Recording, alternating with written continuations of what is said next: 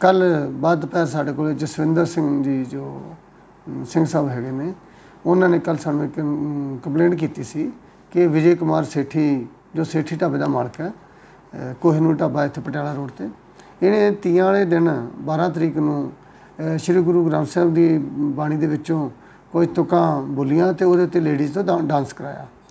ਉਸ ਉਹ ਜੋ ਇਹਨੇ ਬੋਲਿਆ ਉਹਦੇ ਸੰਬੰਧੀ ਜਸਵਿੰਦਰ ਸਿੰਘ ਹੋਰਾਂ ਨੇ ਦੱਸਿਆ ਕਿ ਇਹ ਜਿਹੜਾ ਧਾਰਮਿਕ ਜਿਹੜੀ ਹੈਗੀ ਹੈ ਸੰਸਥਾ ਸ਼੍ਰੀ ਗੁਰੂ ਗ੍ਰੰਥ ਸਾਹਿਬ ਇਹ ਉਹਦੇ ਖਿਲਾਫ ਹੈ। ਇਹ ਉਹਦੀ ਜਦ ਵਿੱਚ ਨਹੀਂ ਆਉਂਦਾ। ਇਸ ਕਰਕੇ ਇਹਨਾਂ ਸਿੱਖੀ ਭਾਵਨਾ ਤੇ ਜਿਹੜੀ ਠੇਸ ਪਹੁੰਚੀ ਹੈ ਉਸ ਕਰਕੇ ਉਹਨਾਂ ਨੇ ਕੱਲ ਮੁਕੱਦਮਾ ਦਰਜ ਕਰਾਇਆ। ਉਹਦੀ ਸਟੇਟਮੈਂਟ ਤੇ ਅਸੀਂ F I number 452 under section 295 ਥਾਣਾ ਜੀਰਕਪੁਰ 'ਚ ਦਰਜ ਕਰ ਲਈ ਸੀ। ਤੇ ਦੋਸ਼ੀ ਨੂੰ ਵੀ ਅਸੀਂ ਵਿਜੇ ਕੁਮਾਰ ਸੇਠੀ ਜਿਹੜਾ ਜਿਹਨੇ ਬੋਲਿਆ ਸੀਗਾ ਉਹਨੂੰ ਅਸੀਂ ਕੱਲ ਅਰੈਸਟ ਕਰ ਲਿਆ ਗਿਆ। ਤੇ ਇਹਦੇ ਵਿੱਚ ਜਿਹੜੀਆਂ ਲੇਡੀਜ਼ ਹੈਗੀਆਂ ਉਹਦਾ ਵੀ ਅਸੀਂ ਪਾਰਟ ਜਿਹੜਾ ਇਨਵੈਸਟੀਗੇਟ ਕਰ ਰਹੇ ਹਾਂ ਵੀ ਉਹਦਾ ਕੀ ਰੋਲ ਹੈਗਾ ਇਹਦੇ ਵਿੱਚ। ਕਿੰਨੀ ਕੁ ਲੇਡੀ ਸੀਗੀ ਤੇ ਕੀ ਉਹਨਾਂ ਦਾ ਹਾਂ, ਕੀ ਜਿਹੜੀ ਉਹਨਾਂ ਨੇ ਵੀਡੀਓ 'ਚ ਦੱਸਿਆ ਚਾਰ ਪੰਜ ਲੇਡੀਜ਼ ਹੈਗੀਆਂ ਉਹਨੂੰ ਅਸੀਂ ਆਇਡੈਂਟੀਫਾਈ ਕਰਕੇ ਅਸੀਂ ਅਗਲੀ ਕਾਰਵਾਈ ਕਰਾਂਗੇ।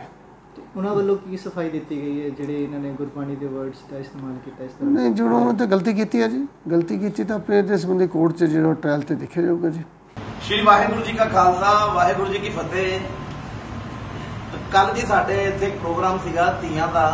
ਔਰ ਜਿਸ ਦੇ ਵਿੱਚ ਕੀ 70 80 ਲੇਡੀਜ਼ ਇਕੱਠੀਆਂ ਹੋਈਆਂ ਸੀਗੀਆਂ ਔਰ ਅਸੀਂ ਉਹਨਾਂ ਦੇ ਸਵਾਗਤ ਦੇ ਵਾਸਤੇ ਕੁਝ ਲਾਈਨਾਂ ਗਾਈਆਂ ਸੀਗੀਆਂ ਔਰ ਮੈਨੂੰ ਨਹੀਂ ਪਤਾ ਸੀਗਾ ਕਿ ਉਹ ਪਵਿੱਤਰ ਗੁਰਬਾਣੀ ਦੀਆਂ ਲਾਈਨਾਂ ਨੇ।